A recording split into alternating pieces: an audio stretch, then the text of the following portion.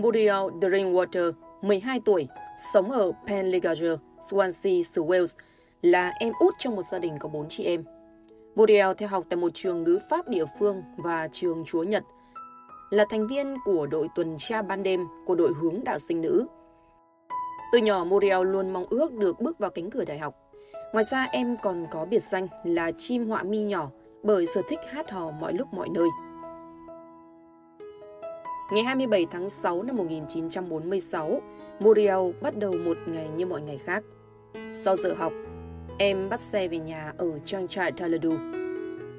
Tại đây Muriel sống cùng bố là Percival, mẹ Margaret và ba anh chị em. Vào lúc 4 giờ 20 phút chiều, cô bé xuống trạm xe buýt gần nhà và bắt đầu đi bộ về cùng cậu bạn Brinley Hollis, 13 tuổi.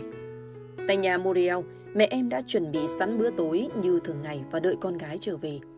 Nhưng mãi cho đến giờ uống trà của gia đình, Muriel vẫn chưa về.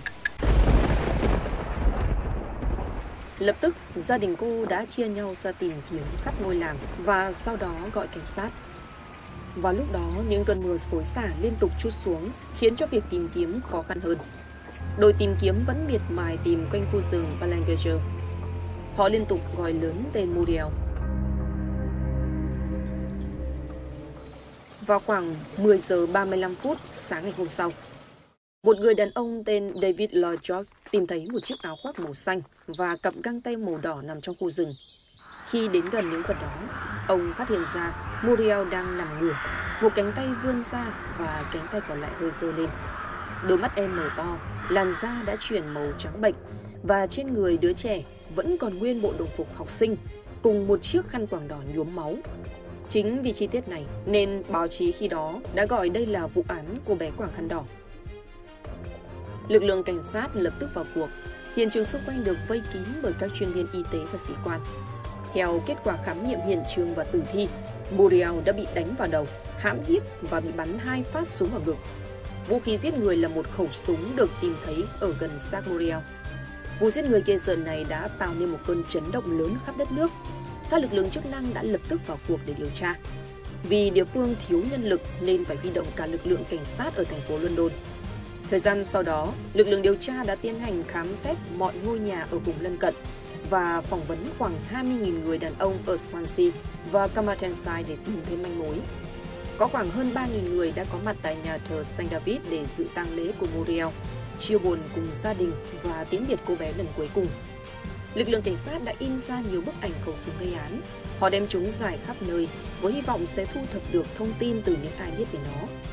Cuối cùng, theo một số nguồn tin, khẩu súng được sản xuất tại Springfield, Armory vào năm 1922 và sau đó chuyển đến cho lực lượng quân đội Hoa Kỳ ở châu Âu.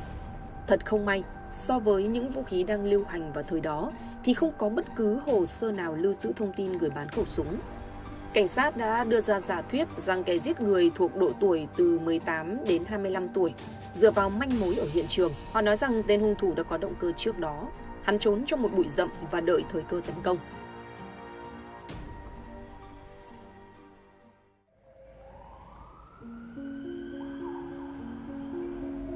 Vào năm 2003, vụ án đã được mở lại để xem xét. Các nhà khoa học pháp y đã phát hiện ra một vết tinh dịch trên áo của Muriel. Và lúc đó, vết tinh dịch đó được xem như là một trong những bằng chứng tội phạm lâu đời nhất thế giới. Một mẫu ADN lấy ra từ vết tinh dịch được đưa đi kiểm tra. Đáng tiếc thay, cuộc thử nghiệm vẫn không mang lại kết quả nào. Tuy nhiên, lực lượng cảnh sát đã chĩa tầm ngắm vào một nghi phạm là bạn học năm xưa của Muriel, chính là Brinley. Vào lúc thẩm vấn Brinley, ông rất sẵn sàng cung cấp thông tin cho lực lượng cảnh sát. Theo như những gì Brinley nói về vụ án năm xưa, đó là một vụ án khủng khiếp đối với làng chúng tôi. Một khoảng thời gian tồi tệ, tôi không bao giờ đi trên con đường uốn quanh khu rừng đó nữa và cũng sẽ không bao giờ quay trở lại nơi ấy. Vài năm sau, lực lượng cảnh sát bắt đầu xem xét vụ án của Muriel, phần nào có liên quan đến vụ án giết chết cô bé Celia Martin 11 tuổi. Cô bé đã bị hãm hiếp và xiết cổ ở Sun Hill Walk, Fockham Green. Vụ án đã diễn ra khoảng 10 ngày sau khi Muriel bị giết. Mặc dù có những điểm tương đồng, nhưng lực lượng cảnh sát vẫn không thể tìm được những bằng chứng thuyết phục để chứng minh sự liên quan giữa hai vụ án. Và lúc đó, nghi phạm chính trong vụ án được cảnh sát xác định tên là Harold Jones, kẻ đã giết chết hai thiếu nữ 15 tuổi ở Abertillery vào những năm của thập niên 1920. Vào năm 2019, kết quả ADN trên vết tinh dịch trong vụ án của Muriel đã loại bỏ Harrod ra khỏi tầm ngắm nghi phạm. Cho đến nay, kẻ giết Muriel vẫn còn là một bí ẩn.